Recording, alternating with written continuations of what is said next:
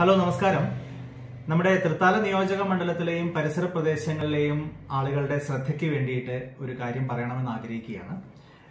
നമ്മുടെ പരിസര പ്രദേശങ്ങളിൽ കോവിഡ് വ്യാപനം വളരെ രൂക്ഷമായിക്കൊണ്ടിരിക്കുന്നു എന്നുള്ള അല്പം ആശങ്കപ്പെടുത്തുന്ന ഒരു വാർത്തയാണ് നമ്മളിലേക്ക് എത്തുന്നത്. പ്രത്യേകിച്ചും എടപ്പാൾ പരിസരങ്ങളിൽ എടപ്പാൾ ആശുപത്രിയിലെ ചില ഡോക്ടർമാർക്കടക്കം സമീപ ദിവസങ്ങളിൽ കോവിഡ് പോസിറ്റീവായിട്ട് സ്ഥിരീകരിച്ചിട്ടുണ്ട്. എടപ്പാൾ ഹോസ്പിറ്റലിലെ ചൈൽഡ് സ്പെഷ്യലിസ്റ്റിനും അതുപോലെ തന്നെ ശുഗപുരം ഹോസ്പിറ്റലിലെ ചീഫ് ഫിസിഷ്യനും രണ്ടുപേർക്കും കോവിഡ് പോസിറ്റീവായിട്ടാണ് സ്ഥിരീകരിച്ചിട്ടുള്ളത്. അതുകൊണ്ട് തന്നെ ഈ സമീപ ദിവസങ്ങളിൽ ഈ രണ്ട് ആശുപത്രികളിലേക്കും ചെന്നിട്ടുള്ള ആളുകൾ ഈ രണ്ട് ഡോക്ടർമാരുമായിട്ടും സമ്പർക്കം പുലർത്തിയിട്ടുള്ള മുഴുവൻ ആളുകൾ അവർ മുഴുവൻ ജാഗ്രത പുലർത്തേണ്ട ഒരു സമയമാണിത്. ആശങ്കപ്പെടേണ്ട കാര്യമൊന്നുമില്ല. പക്ഷെ എന്നാൽ പോലും ഇത് മറ്റുള്ളവരിലേക്ക് പകരാതിരിക്കാൻ വേണ്ടിയിട്ടും ഇതൊരു സാമൂഹ്യ വ്യാപനത്തിന്റെ തലത്തിലേക്ക് കടക്കാതിരിക്കാൻ വേണ്ടിയിട്ടും നിങ്ങളുടെ എല്ലാവരുടെയും പിന്തുണയും സഹകരണവും ഉണ്ടാവണം എന്നുള്ളതാണ് എനിക്ക് അഭ്യർത്ഥിക്കാനുള്ളത്.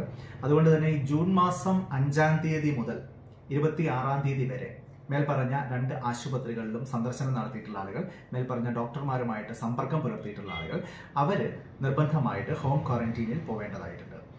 അതേപോലെ തന്നെ ആനക്കരയിലെ ആയുർവേദ ആശുപത്രിയിൽ വട്ടംകുളം സ്വദേശിയായിട്ടുള്ള കോവിഡ് പോസിറ്റീവായിട്ട് പിന്നീട് സ്ഥിരീകരിക്കപ്പെട്ട ഒരു വ്യക്തി ജൂൺ മാസം പത്തൊൻപതാം തീയതിയും ഇരുപത്തി ആറാം തീയതിയും സന്ദർശനം നടത്തിയിരുന്നു എന്നുള്ള ഒരു വാർത്തയും ഇപ്പോൾ ആരോഗ്യവകുപ്പ് അധികൃതരുടെ മുമ്പിലുണ്ട്.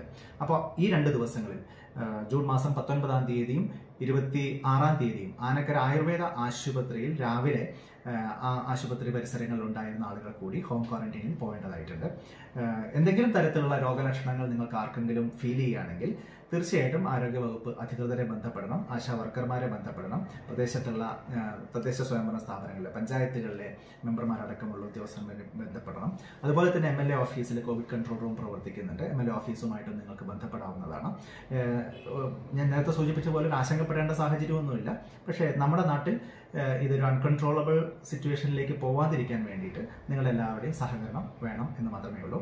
എല്ലാവരും സേഫായിട്ടിരിക്കുക സന്തോഷമായിട്ടിരിക്കുക താങ്ക് യു